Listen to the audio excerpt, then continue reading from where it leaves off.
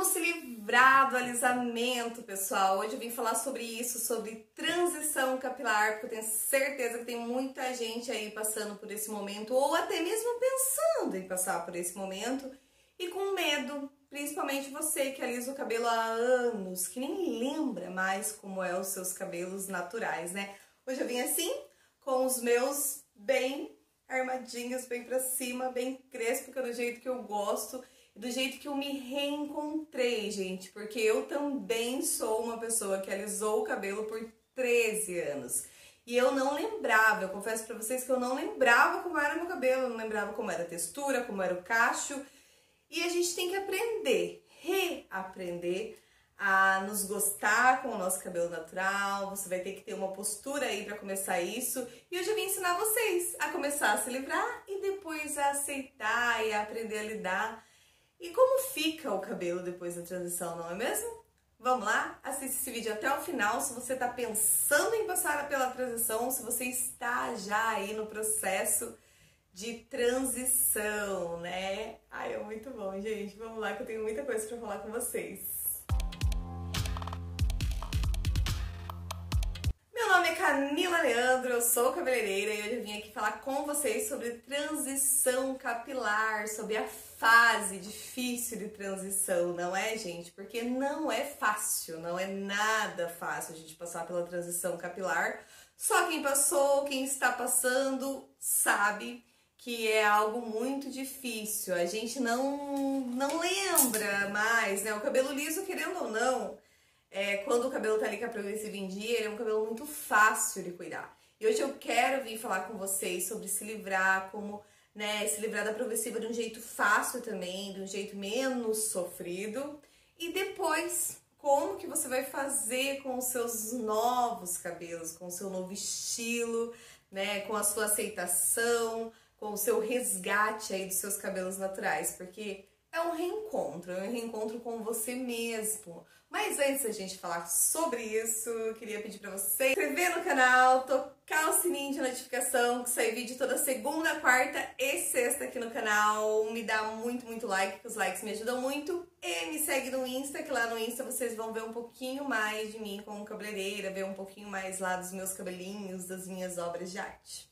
Mas é isso, pessoal. Vamos parar de enrolação e vamos falar sobre transição capilar o começo, o meio e o final. Afinal, como a gente vai lidar com todas essas situações, não é mesmo?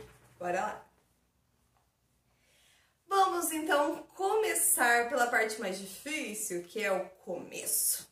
Quando decidir que você não quer mais progressiva, gente. Bom, progressiva não é algo simples, não é algo fácil. A progressiva, a princípio, ela fica com, ela deixa os cabelos muito bonitos, ela acaba facilitando a vida da gente, né? Ela, ela alinha ali. Só que com o passar do tempo, com o passar dos anos, né? Porque geralmente quando a gente começa a fazer progressiva, a gente fica muito tempo na progressiva. Eu mesmo fiquei 13 anos alisando meu cabelo sem parar. Então chega um tempo ali que teu cabelo já vai afinando com sequência, né? Porque a progressiva é uma química muito forte, gente. Eu costumo falar assim: um produto para ter o poder de mudar a estrutura completamente do seu cabelo, porque a, a progressiva, a definitiva, a selagem, o botox, gente, é todos os tipos de alisamento. Vocês têm que ter essa consciência. Botox é alisamento, selagem é alisamento. Então, tudo que muda a estrutura do teu cabelo é alisamento. Então, você tem que ter essa consciência também, tá? Todos os tipos de alisamento são químicas e químicas fortes sim, para ela ter esse poder de mudar, de deixar o cabelo alinhado, de imagina um cabelo super crespo e fica liso, gente, não tem como você fazer isso sem química.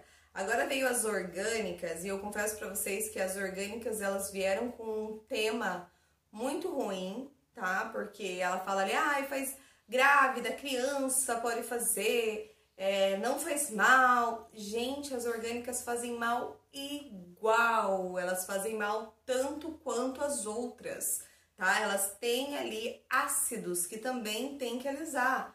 A fumaça da orgânica, ela faz mal quando inalada, igual a do formol. Então não é porque arde, não arde o olho, é que ela não tem química. Tem química sim. Grávidas cuidem, mamães cuidem aí se vocês vão levar suas filhas pequenininhas aí, seus filhos para fazer esse tipo de procedimento, porque são procedimentos químicos e sim, fazem mal. Bem não faz. Tem que ter cuidado com progressiva. Progressiva é assunto sério. Então assim, primeira coisa, vai, vai parar de fazer, decidiu que vai passar pela transição, então para, para com qualquer tipo de alisamento. Você não vai fazer nenhum, mas nenhum mesmo, nem um botoxinho para dar uma baixadinha no frizz, nem nada disso, gente. Quer parar de, de alisar o cabelo? Tem que parar com todos os tipos de alisamento, como todos esses que eu acabei de citar para vocês, tá?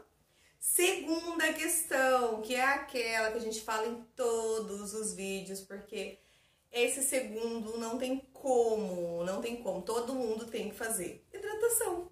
Hidratação, hidratação e mais hidratação, gente. Todo cabelo precisa de hidratação.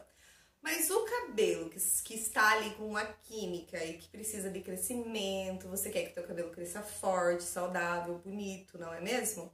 Para você poder enfim cortá-lo e deixá-lo ele todo natural, então você precisa hidratar sim, hidratar o cabelo que tá crescendo, focar ali no cabelo que tá crescendo, porque aquela parte lisa você vai alisar, vai jogar fora, né? Você vai ter que cortar. Então assim, essa parte lisa não é o seu foco, seu foco sim é a raiz, couro cabeludo, pessoal. Eu falo muito sobre o couro cabeludo, sobre a importância de você hidratar o teu couro cabeludo a importância de você esfoliar o seu couro cabeludo, de você massagear o seu couro cabeludo, para você fazer com que ele circule, a circulação do couro cabeludo funcione melhor. Assim, o seu cabelo consequentemente irá crescer mais rápido, e irá crescer mais saudável e vai se tornar mais rápido também a hora ali de tirar completamente o alisamento, que é, é a hora da transformação. Mas é claro que nem, é, nem todas nós somos corajosas de fazer o Big Shop, né? Que é cortar tudo liso, deixar o cabelo curtíssimo.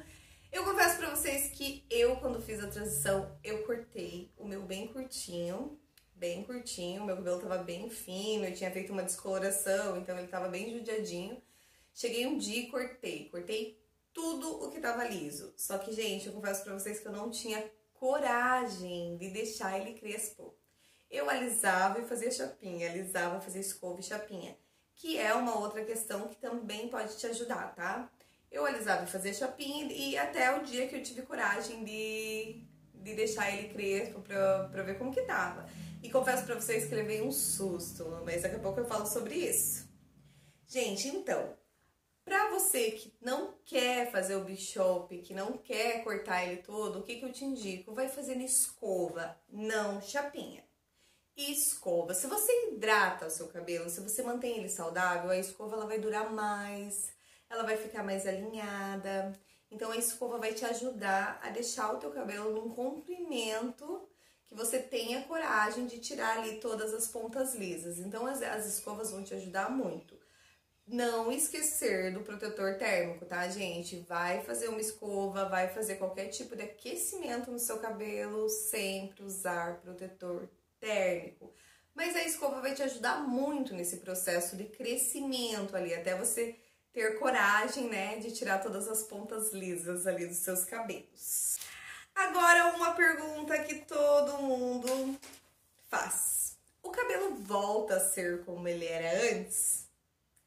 Gente, depende muito do, do, do, que você já fez nele, entendeu? Depende muito do que, dos processos, né? Do grau de alisamento que você tinha. Se você era uma pessoa que sempre cuidou do teu couro cabeludo, não fazia, não fazia alisamento assim, um em cima do outro, sim, o seu cabelo vai voltar ao normal. Os cabelos que não voltam ao normal geralmente são não digo assim que não voltam, mas que eles demoram às vezes aí um pouco mais, até depois que você corta toda a parte lisa, ele ainda vai demorar um tempo para ele se reconstruir, para ele passar por todo aquele processo de reconstrução, leva um tempinho, mas a maioria dos cabelos que não passam por esse momento, que acaba ficando mais difícil, são aqueles cabelos de muito alisamento, gente. Porque quando você coloca o alisamento no couro cabeludo, que não adianta você vir me dizer que aqueles dois centímetros são respeitados pelo cabeleireiro, porque isso não existe, gente, não tem como. Você pode aplicar progressiva ali de 2 centímetros do couro cabeludo, mas não adianta que a gente não vai conseguir não chegar com o produto na raiz. Ah, o produto sim chega, porque a hora que você vai, vai secar com o secador, todo mundo faz isso, né? Vai secando com secador ali, vai passando pente ou a escova ou que seja pelo couro cabeludo, então vai produto no seu couro cabeludo. E tem pessoas que têm mais sensibilidade no couro cabeludo, então vai machucar o couro cabeludo. E se o teu couro cabeludo tá machucado na transição, o que vai acontecer? Vai prejudicar ali o crescimento, vai prejudicar a força que vai vir o seu cabelo. Por isso você tem que cuidar nesse, nesse tempo de transição muito com o couro cabeludo, como eu falei para vocês.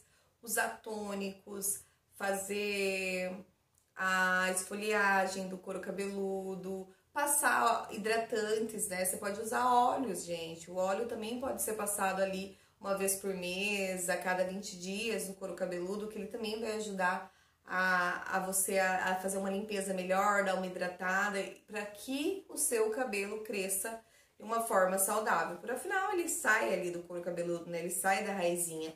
Então, se o teu couro cabeludo tá prejudicado, o cabelo também vai acabar consequentemente vindo mais fraco. E o mais importante para você que está aí disposta a passar pela transição capilar vai ser a aceitação, tá? Vai ser você aprender a lidar com o seu novo cabelo. Depois que você tira toda a ponta lisa, você vai ter que fazer um corte, você vai ter que descobrir o teu ativador de cacho, o teu finalizador, que hoje em dia tem infinidades no mercado, gente, graças a Deus, nós cacheadas Estamos assim, ó, muito bem servidas, confesso para vocês, que hoje em dia tem gelatina, tem creme de tudo quanto é tipo, para todos os tipos de cacho, cacho maior, cacho menor. Então, assim, não tem erro. Estude o seu tipo de cabelo. Veja qual é o seu cacho, vai testando, gente. Aqui no YouTube, aqui na internet tem muita coisa legal. Penteado, gente. O nosso cabelo é maravilhoso. Olha aqui, você põe uma faixa, você tá bonita. Você prende pro lado, tá bonito. Prende pra cima, tá bonito. Então, assim, ai, se valorize, enxergue o seu lado bonito. Eu confesso para vocês que quando eu me vi crespa, depois de 13 anos, eu falei, meu Deus, eu sou assim, o meu cabelo é prático, o meu cabelo combina comigo, com a minha personalidade. Então, assim, eu assumi meus cabelos crespos. Tem muita gente que nem me conheceu de cabelo crespo. O meu filho, eu confesso pra vocês, que ele foi me ver de cabelo crespo, ele já, já tinha 10 anos. Então, assim, eu me reencontrei, eu me reencontrei comigo mesma. Hoje eu não tenho vontade nem de fazer escova, nem de deixar meu cabelo liso ali por um tempo. É muito, muito, muito, muito, muito raro faz que eu passei pela transição, hoje faz já sete anos, sete anos que eu tô com meu cabelo assim, normalzinho, lindo, amo de paixão. Então se encontre, encontre a sua natureza, é, encontre como você se gosta, descubra como você vai gostar do seu cabelo, se você vai gostar dele mais murchinho, se você vai gostar dele mais armado. Eu tenho várias clientes aqui que passaram por essa transição aqui no salão e realmente elas falam, umas falam que gostam do cabelo mais murchinho, então passa uma máscara que deixa ele mais ali corretinho. Umas já são igual eu que gostam do cabelo assim armado para cima. Então, é a nossa identidade, né? É quem somos. Então, eu amo, eu acho lindo, eu gosto de, de, de ver esse esse, né, essa minha natureza, que é a natureza de cada um, né? Deus mandou a gente cada um com cabelo, então vamos aceitar o cabelo que a gente tem. Se você também não quer passar por isso, não tem problema, mas se você tem alguém ou você tá pensando em passar pela transição, segue essas diquinhas que eu dei pra você, que eu tenho certeza que você vai acabar ficando muito feliz aí com seus cabelos crespos, cacheados, armados e seja muito feliz, se reconheça, tá? Hoje em dia não dá para ter medo de ser quem a gente é. O vídeo de hoje foi sobre isso, sobre transição capilar e aceitação dos cachos. Espero que vocês tenham gostado. Qualquer dúvida, qualquer pergunta, deixa aqui nos comentários que eu vou fazer questão de responder, vai ser um prazer enorme. E não esquece de se inscrever no canal, tá? Pra você não perder nada, pra você ver todos os vídeos que eu coloco aqui, várias dicas bem legais. Toca o sininho, que assim o sininho já te avisa, né? Aí não tem perigo nenhum de você perder. Me segue no Insta e me dá muito like, que a gente se encontra mais vezes aqui. Beijo, fiquem com Deus e até o próximo vídeo, se Deus quiser.